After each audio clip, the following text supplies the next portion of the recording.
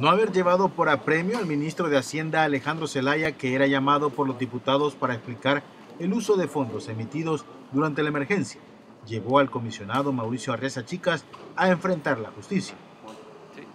En vista de haber faltado al principio de legalidad y la obligación constitucional que tenía de colaborar con la Comisión Especial de la Asamblea Legislativa, cuando se le solicitó de que hiciera el procedimiento del señor Mauricio Arreza Chicas en su calidad de director de la Policía Nacional Civil.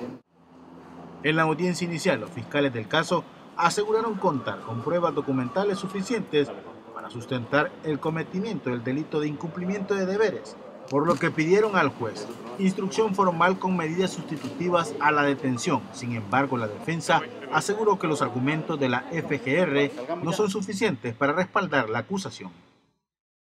Eh, solicitar un sobreseguimiento definitivo y eventualmente, pues, si, si el juez lo estima pertinente, que el caso pasara a instrucción, pero sin la imposición de medida cautelar alguna. El director de la PNC dijo sentirse tranquilo y confiado en que saldrá bien del proceso.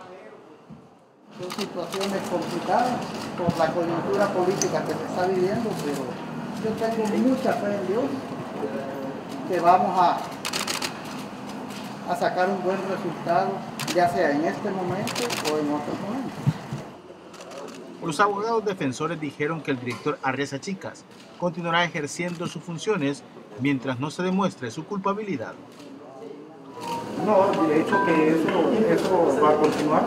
Eh, es un proceso penal, él es inocente hasta que no se compruebe su culpabilidad en un, en un juicio con la regla de La resolución de esta audiencia se dará a conocer hoy a las 2 de la tarde. Walter Morán, TCS Noticias.